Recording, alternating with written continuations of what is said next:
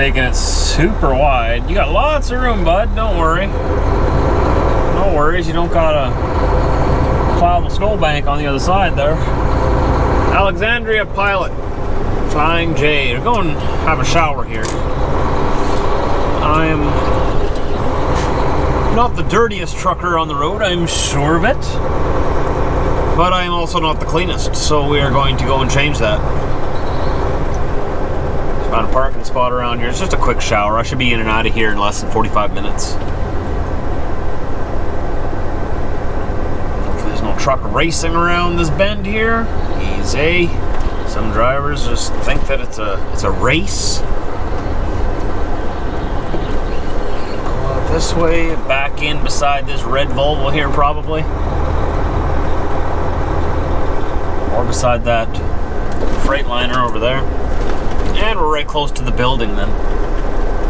That is perfect. Oh, oh.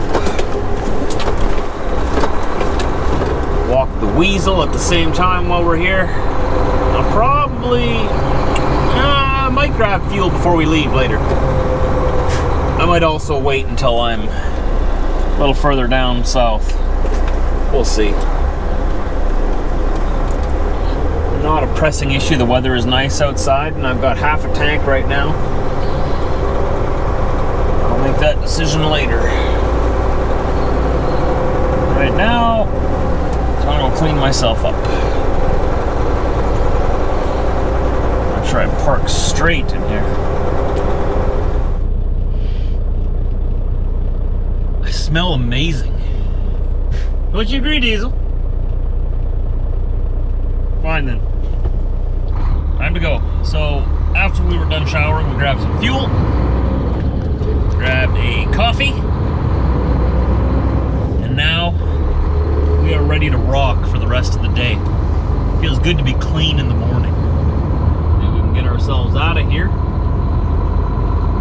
Let's no one comes racing around this corner here. This is where we came around before. You never know. You never know. Okay, good. Good.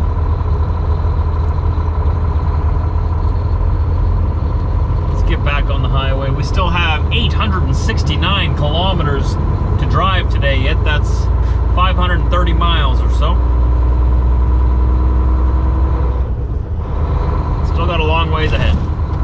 Going to Monmouth, Illinois. Monmouth. Monmouth? Monmouth. Interesting names for towns.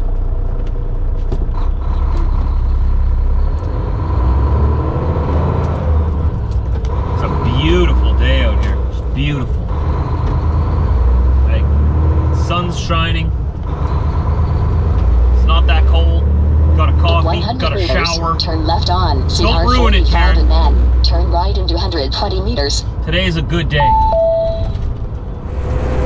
Getting back on Interstate 94 here. I'm so mad at myself. I forgot my crucifix necklace that my wife bought me for Christmas at home. I make a point of always wearing it. I like it. Continue on this road for 91 kilometers. This guy almost refused to move over. Sorry to inconvenience you, my friend. I know it's very tough making space for me on an empty highway, but thank you anyways. I do realize moving over is a courtesy. Not a right. Anyway, yeah, my necklace is at home. I feel naked without it now. So if you guys are wondering where it is, you don't see it in the vlogs for the next day or two.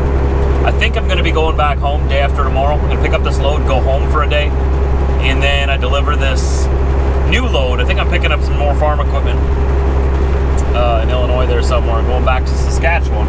And I believe I can stop by home for a day on the way back. I'll pick it up then. In 300 meters, turn right on 215th Street. Iowa 80. They have branded themselves. 200 meters, turn right on 215th Street. Karen, listen to me. They have branded themselves the world's largest truck stop. Largest truck stop in the whole world. The whole world. Everything. So Whether or not that's true, I've never seen a bigger one than this. So I, I would back them up on that, but it is awesome. I'll tell you that much. It's the biggest one I know of. And they have a 24 hour service center here, which is perfect because I have an air leak. In 200 meters, turn right on Sterling Drive. I'll be quiet, Karen. I'm done with you for today. Welcome to Iowa 80 Truck Stop. I'm pretty sure that this is the uncontested world's largest truck stop. It is. It's like a shopping mall for truckers.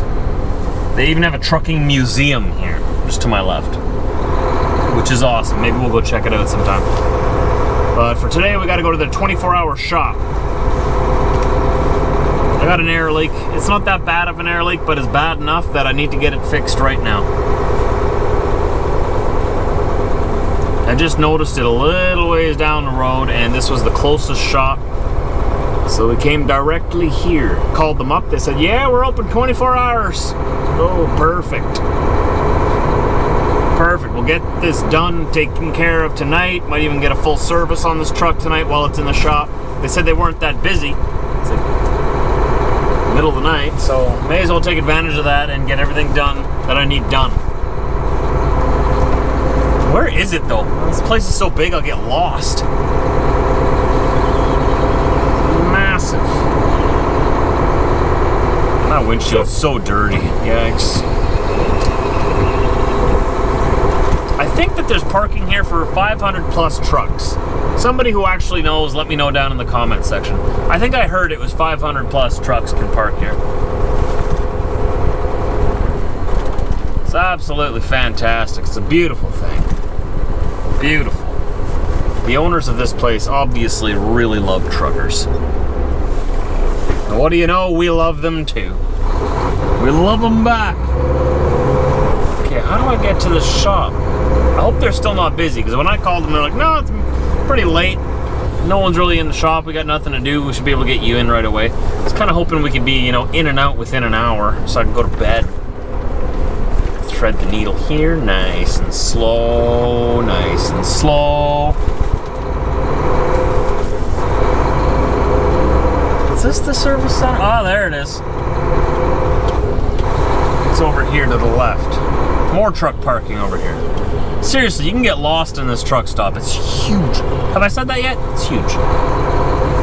There it is, TA Truck Service. I don't know where I can park for now. I'm gonna park right in front. Right front and center. Hey boys, I'm here. It going, bud? Wanna fix my truck for me, please?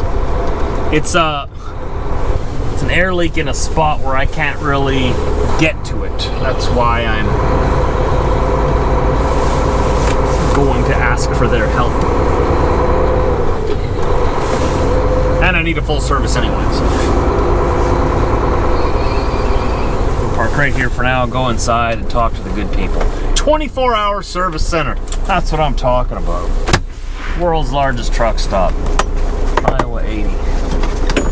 One day we're gonna come here and just make a vlog just of this truck stop. It'll probably have to be in two parts because it's so big. So I had to go drop my trailer and pull up to door three. Gonna do the whole kit and caboodle over here.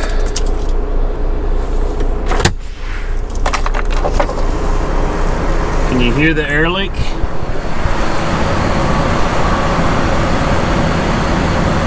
Hissing? Not good. Not good. So as soon as they open this door here, we're gonna roll inside and I will uh, check in with you guys after, I guess. Hopefully this doesn't take too long. Hopefully it's not too expensive is what I mean. Well, Volvo has found another way to frustrate me.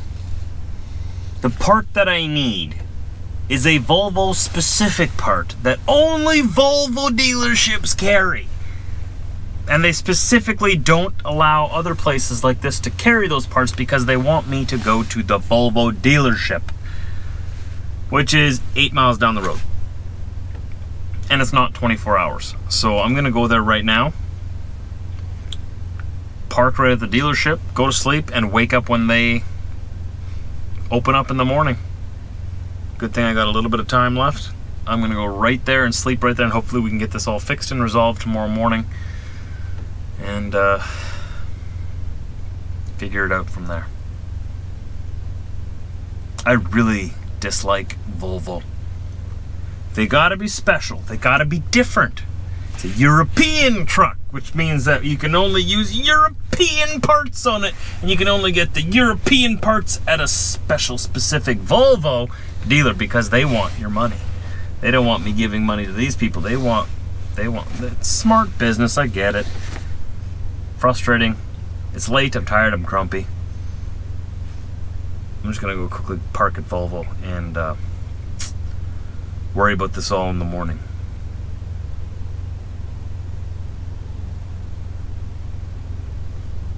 I hope I don't have to replace the whole air compressor, but it, it seems to be working just fine. It's just, it's got an air leak and I need a replacement part. So let's bring it down to Volvo there. Uh, yeah, that's all I'm gonna say about that. I need some sleep. They're open. So I gotta go in there and see if they can get me fixed up. We'll have to check in with you guys in tomorrow's vlog to see how this goes. Don't forget to tune in, hit the subscribe button so you don't miss it. I don't know what's gonna happen, I don't know how expensive it's gonna be. Kinda nervous about it. Help me out a lot if you were there to watch my video tomorrow. oh, sirens. I'm tired. Did you hear that? Hear that, Diesel? You heard it, right? For some reason, whenever I hear a siren like that in a small town, I always think air raid sirens, like World War II. No, I wasn't alive in World War II. Tune in tomorrow, guys. We've gotta go inside and figure out what's going on.